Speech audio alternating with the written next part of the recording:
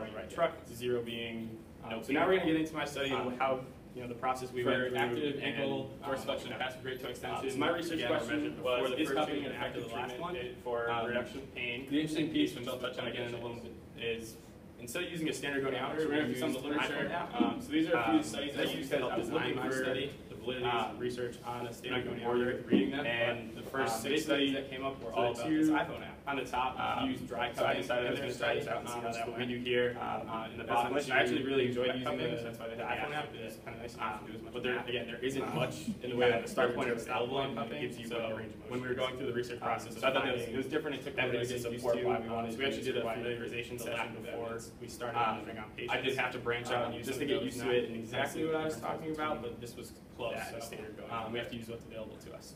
Um, so then we had our patients after this first meeting that counted off. So basically, what these four studies found Uh, was they went four um, more times significant reduction in perceived pain of um, patients' treatment these were some different ones. So stretching or cupping uh. Markowski, um, for our cupping group, we had um, they were subcutaneous. um, so basically, just did chronic patient pain. Basically, with one finger, you say what loud point hurts the most. This one is kind of the one one up updates over. mostly the five, and then we did a um, ten minute previous treatment timer for ten minutes once we put the cup again, on. looking at this one looked at off. neck pain, Um, another low back five times. Um, And we had a minimum of body 48 hours in between each uh, session. looked So for a lot of patients, based on their schedule as a college Um, student. but all four of those studies, they found, again, found a significant reduction in perceived pain. And then um, for those all five sessions had to be completed within Um, three so weeks. now we're gonna go through a little bit of the Um, methods, again, with the um, minimum of how the 48 studies hours in between sessions. Um, So by design, we did a true experimental design. Uh, the independent variables were basically what group, Um, and as I patients mentioned, were, all measurements um, were pre- separated into so so before we started, and we had a stretching group as well. Uh, and then some of my dependent variables Um, were so as I mentioned, perceived this was the- uh, these are some active pain screenshots from the app. and passive Um, toe so you can see there's, it gives Uh, you a start, was where you started at, college where you stopped, and it gives you what your range of motion was. Um, so you Uh, so I had five patients, um, all did I start? I don't self-identified as female.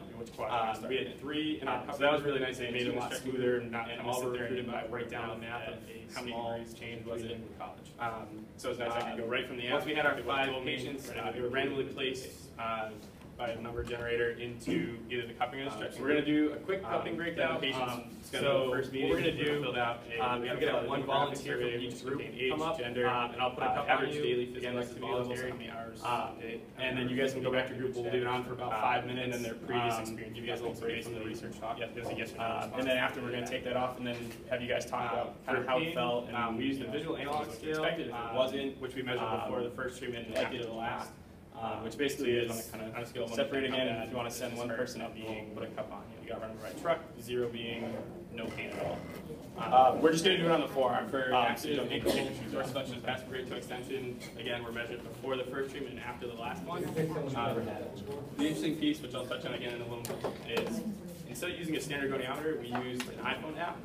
Um, and this is because I was looking for the validity research on a standard goniometer, and the first six studies that came up were all about this iPhone app. Um, so I decided I was going to try this out and see how that went. Um, as a clinician, I actually really enjoyed using the, the iPhone app. It was kind of nice to know it was much an app.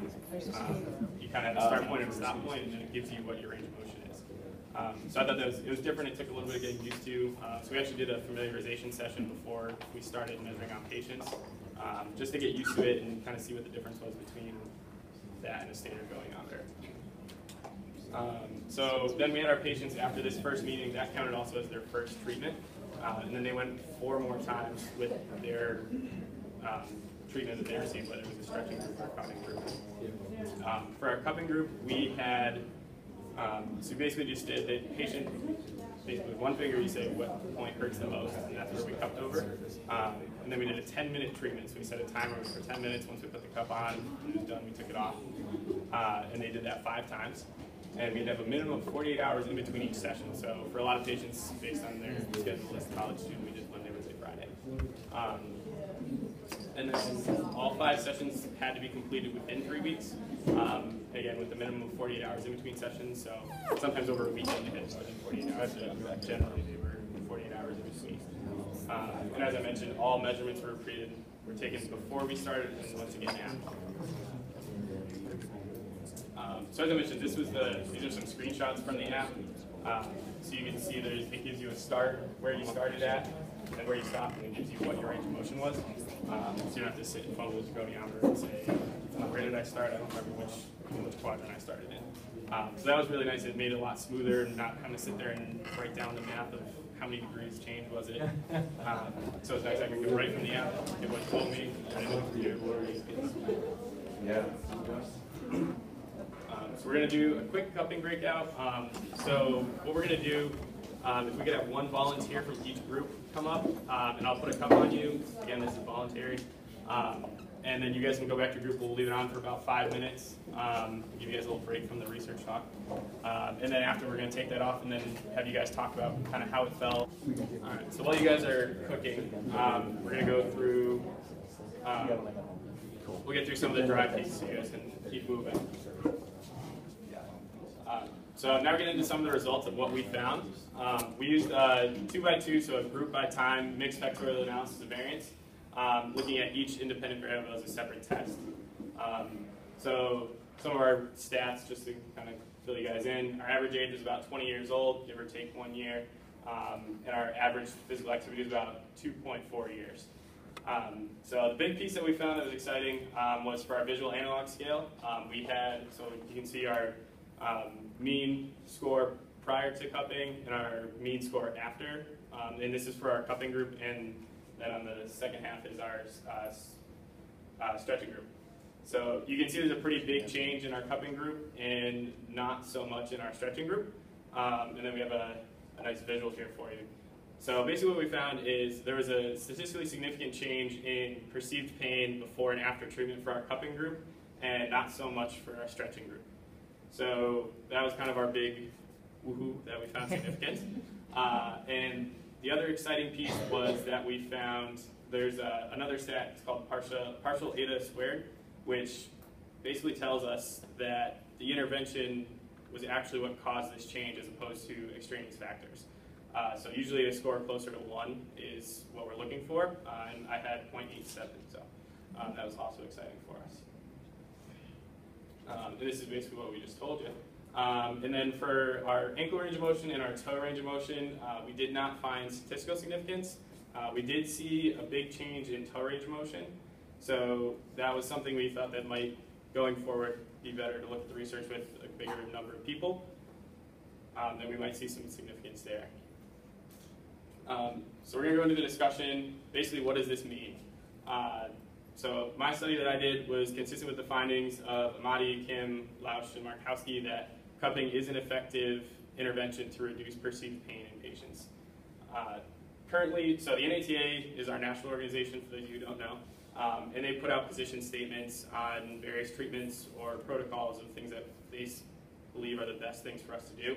Um, the NATA does not currently have a position statement around cupping, um, so there's nothing for us to relate to there.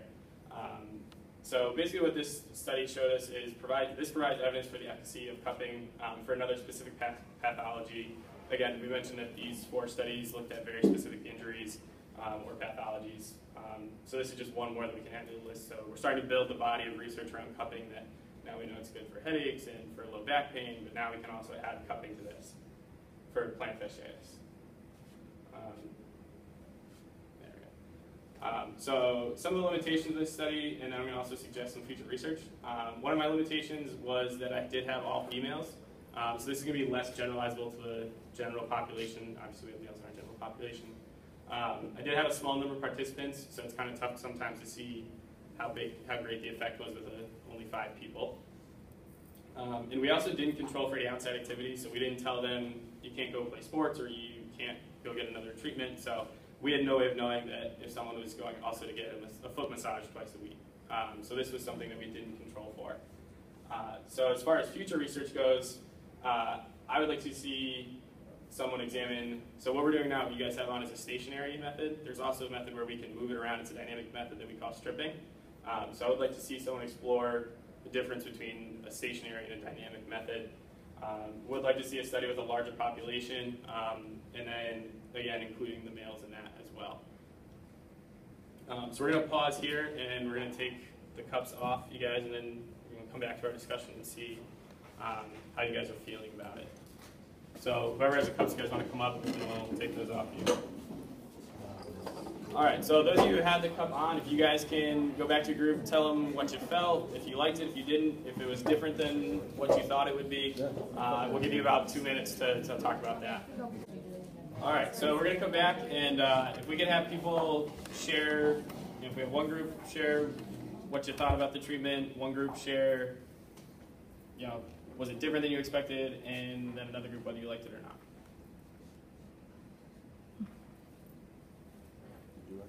Yeah, I liked it. I mean, it didn't feel that bad or anything, so. Yeah. What can you explain a little bit what it felt like to you? It, it felt like it had a such cup on your arm. Like, I could feel the tendons move a lot more under my arm. It felt Yeah. a little bit different, but it wasn't bad at all.